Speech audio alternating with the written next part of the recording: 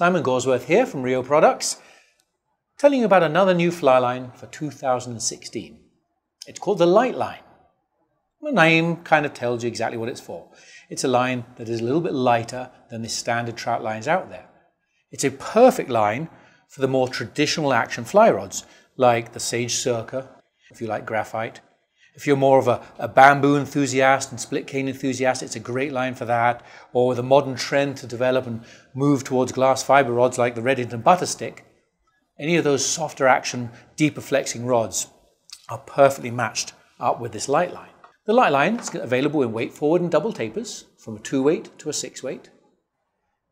It comes in this more classic traditional color of this brown and this kind of a light ivory color. And like all Rio fly lines, it's going to have the welded loops on both ends. And the line has a fairly short head and a fairly short front taper because the secondary use of this line is for small creeks and small streams when you don't have much room to have a lot of fly line outside the rod to load up. And so you want to load your rod at 5 or 10 or 20 feet of range. Well, the line is designed with that weight at the front and that short front taper to load at those closer distances. So it's available from August the 1st from your local fly shop. It's called the Light Line, so look for it anytime from the summer onwards. Rio, make the connection.